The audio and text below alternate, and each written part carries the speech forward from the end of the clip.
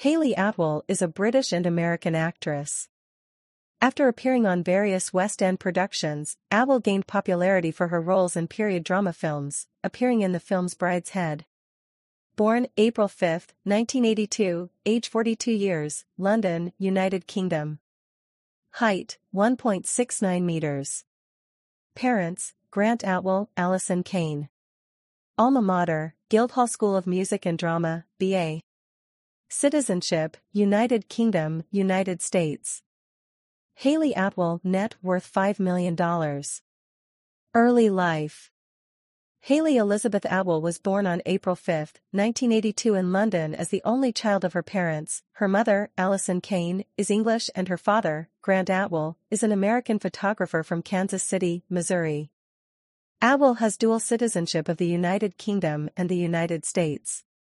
After attending Sion Manning Roman Catholic Girls' School in London, she took her A-levels at the London Oratory School.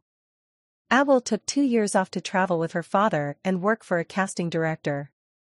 She then enrolled at the Guildhall School of Music and Drama, where she trained for three years, graduating in 2005 with a Bachelor of Arts degree in acting. Career 2005 to 2009, early roles and breakthrough. Atwell made her professional stage debut in Prometheus Bound, 2005, at the Sound Theatre in London, portraying Io, a maiden exiled by Zeus. Her role received positive reviews with the British Theatre Guide praising her performance, writing that that she makes us respond to the anguish without for a moment inviting a chuckle at her bandaged hands. In 2006, she starred as the protagonist's wife, Bianca, in Women Beware Women at the Royal Shakespeare Company. The Guardian praised Atwell for projecting the right seductive beauty. Atwell appeared in two productions from 2007 to 2008 at the Royal National Theatre, both directed by Nicholas Hytner, Man of Mode and Major Barbara. In the former, she portrayed Belinda, a Soho PR worker and for the latter, she received an Ian Charleson commendation. Atwell made the transition to film roles with her first major role coming in Woody Allen's 2007 film Cassandra's Dream, playing stage actress Angela Stark. In 2008, she also appeared in The Duchess, which earned her a Best Supporting Actress nomination at the British Independent Film Awards. Later that year, Atwell appeared in the Miramax film Brideshead Revisited. In 2009, Atwell made her West End debut as Catherine, the adopted niece in a troubled household, in Lindsay Posner's A View from the Bridge. Variety praised her for having an ideal freshness and girlishness while still able to shift into uncontrolled rage. Her performance was later nominated for an Olivier Award. Later in the year, Atwell appeared as 415 in AMC Television's November 2009 miniseries The Prisoner, a remake of the 1967-68 series by the same name. Personal life. In 2010, Atwell lived in a flat in London. In 2015, she moved to Los Angeles to be close to the production of Agent Carter, although she still retained her personal home in London.